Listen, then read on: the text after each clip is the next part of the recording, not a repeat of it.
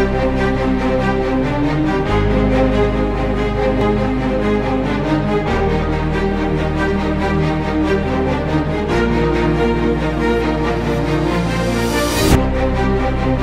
back.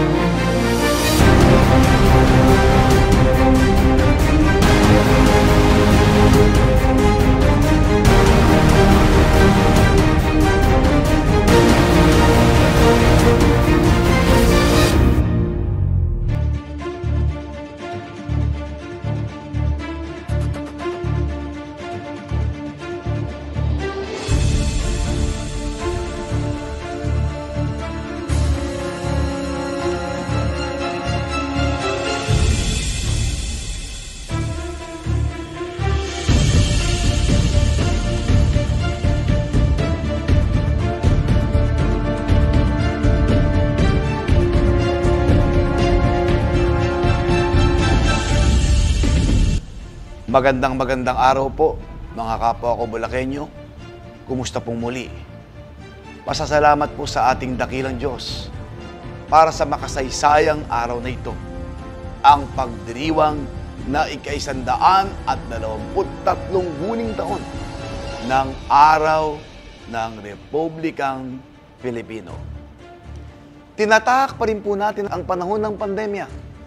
Subalit, ipagpapatuloy pa rin po natin ang pagpaparangal sa araw ng Republika. Ito po ay hindi upang ipakita na memoryado natin ang aklat ng kasaysayan. Ang higit na mahalaga po ay ang ipamulat po sa ating henerasyon na taglay natin ang katatagan na nagpugat sa mga aral ng nakaraan. At upang patunayan na marami tayong prinsipyong natutunan mula dito. At kapag ginugunita po natin ang nakaraan, ito hindi para magkwento lamang tayo ng mga petsa at kaganapan. Bagkus ang nakaraan po ay binabakas at inaaral upang pahalagahan at uh, maging gabay ng ating kasalukuyang pag-iral at sa mga darating na panahon. Nandito po tayo ngayon sa loob ng makasaysayang simbahan ng Baraswain kung saan ang buong simbahang ito ang naging saksi at lugar sa pagbalangkas ng saligang batas o konstitusyon ng Malolos bilang paghahanda para sa gaganaping pagpapasinaya ng araw ng unang Republikang Pilipino noong Enero 23, 1899. Sapagkat ang minsay ng kasaysayan ay hindi isang history lecture lamang. Ito po ay tungkol sa mga kaganapang nananatiling buhay at nagpapatuloy sa ating panahon. Ano nga ba ang kabuluhan ng pasinaya ng Republika Filipina sa buhay natin ngayon? Bakit ito ay ginugunita at binibigyan ng kahalagaan sa buong bansa? Ang kasagutan po ay makikita sa tema ng pagdiriwang sa taong ito.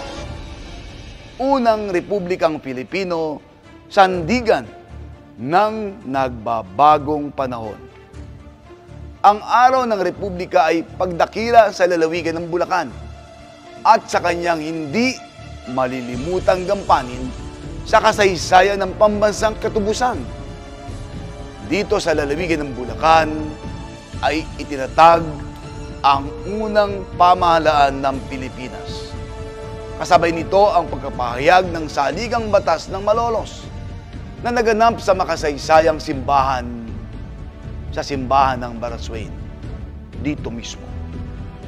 Patunay na ang unang malayang republika ng Asya ay kaloob ng ating dakilang Diyos upang maging instrumento ng paglaya at pagyabong ng minamahal nating bansang Pilipinas. Ito po ang dapat tumimo sa puso at isip ng ating mga kalalawigan, lalo na po sa ating mga kabataan, sa pag-aaral ng kasaysayan ay makikilala po natin ang ating sarili. Sa mga pahina na nakaraan ay matutuklasan po natin kung ano ang dakilang pamana ng ating lahi at kung paano natin ito patuloy na ipaglalaban. Sa dakilang lalawigan po ng Bulacan ay tatlong republika ang isinilang. Ang Republika ng Real de Cacarong de Sili doon po sa bayan ng Pandi noong 1896. Ang Republika ng Biak na Bato noong 1897. At sa pinakalundo ng kasaysayang pambansa ay isinilang ang Republikang Pilipino ng 1899. Ito naman muli ang tanong. Sapat na po ba na kabisa mo lang kung ano ang tatlong republika at kung kailan ito itinatag? Ano ba ang mahalagang aral nito sa ating nagbabagong mundo? Well, gunitain po natin ang kaganapan sa mundo sa panahon ng unang republika noong 1899. Noong panahong iyon, ang halos lahat ng bansa sa Asya ay nananatiling alipin ng mga dayuhan.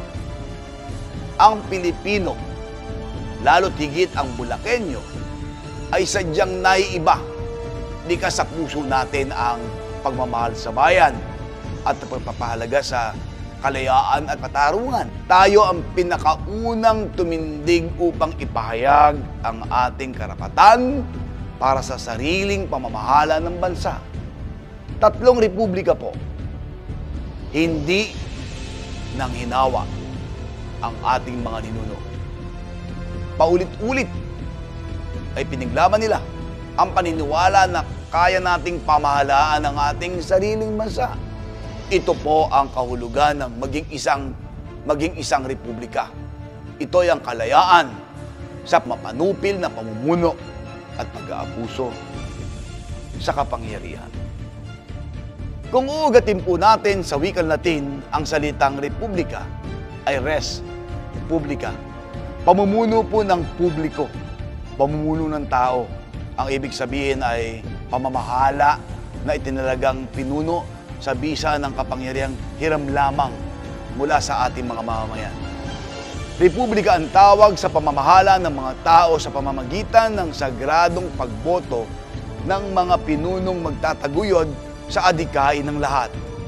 Ito ang tunay na kahulugan ng ating pagdiriwang, pagkakaisa, pasasalamat sa Panginoon para sa dakilang araw na ito na magunita natin kung paano ipinaglaban ng ating kalayaan at kung paano natin ito pangangalagaan at ipagsasang-alang-alang.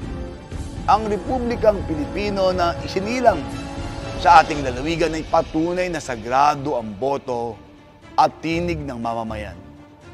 Sa papalapit na halalan, ito nawa ang ating tandaan. Pag-isipan natin kung ano ang kahulugan ng tinatawag na demokrasya. Ito ay ang pagpapatuloy ng daloy ng buhay at pagsasalin, pagsasalin ng kapangyarihan sa bagong mamumuno sa bayan at hindi ang pagbabalik sa nakaraan. Ang halalan po ay mahalagang bahagi ng isang republika. Ito po ay patunay na ang tao, ang tunay na makapangyarihan at siyang magpapasya kung sino sa yugto ng panahon ito. Ang siyang dapat mamuno sa ating bayan, lalawigan at bansa. Mamuno hindi upang maging tagapagdikta, bagkus ay mamuno ng may pagsunod sa kalooban ng Diyos at paglingkuran ang taong bayan na siyang tunay na pinagmumulan ng kapangyarihan.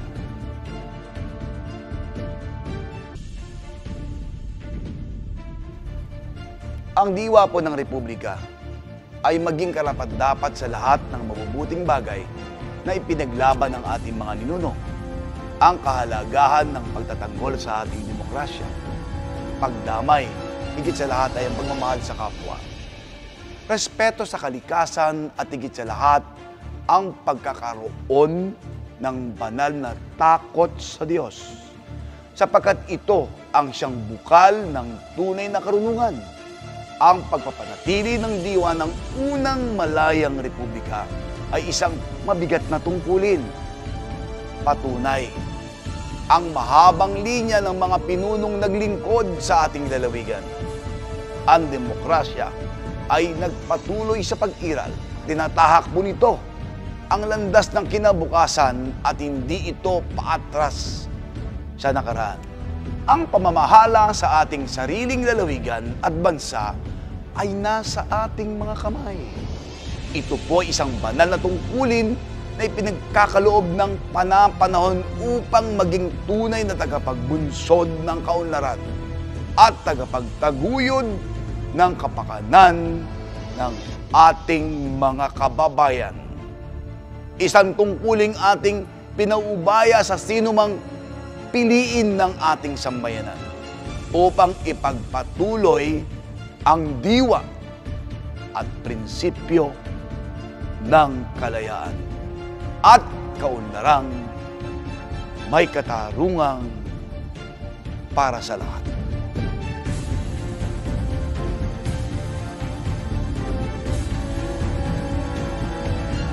Maligayang araw ng Republikang Pilipino, mabuhay ang dakilang lalawigan ng Bulacan, mabuhay ang minamahal nating bansang Pilipinas.